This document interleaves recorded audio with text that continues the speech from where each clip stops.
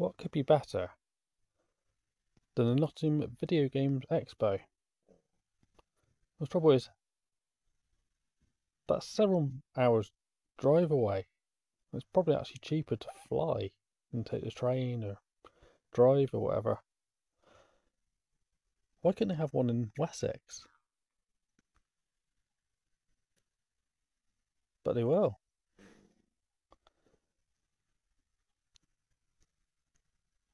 In fact, I think they got the date wrong on that because that's 2024 date. It should be 2025.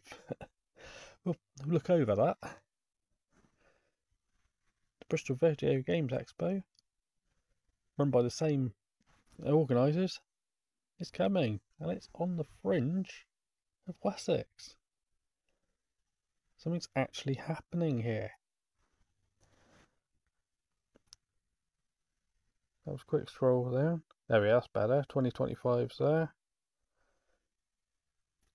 Taking applications, traders.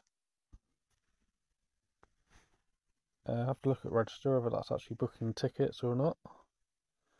And creating press applications.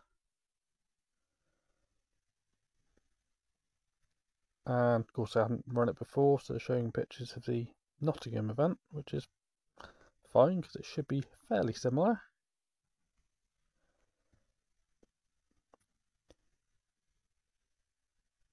A good old RGR team.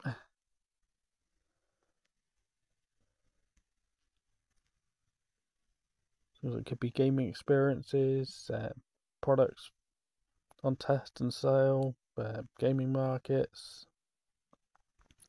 uh, talks, all the kind of things you really want for such an event.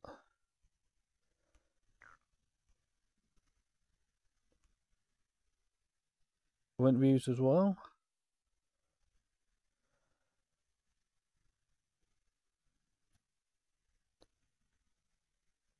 And located in the south of Bristol, which is a little bit closer for most people in Wessex.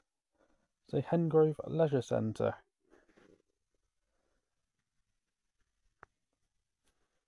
I'll have to work out where that is.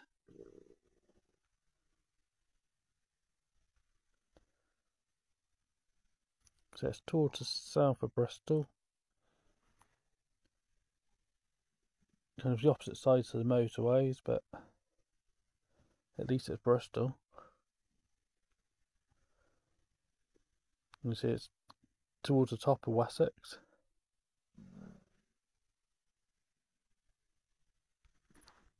Do we have a look, see if... No, not that bit. Register now does.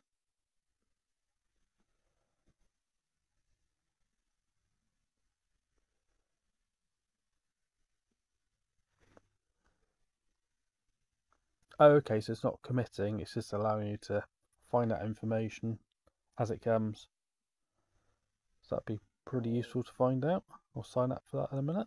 Um, yeah, nice to have something that's not in London or up north for a change.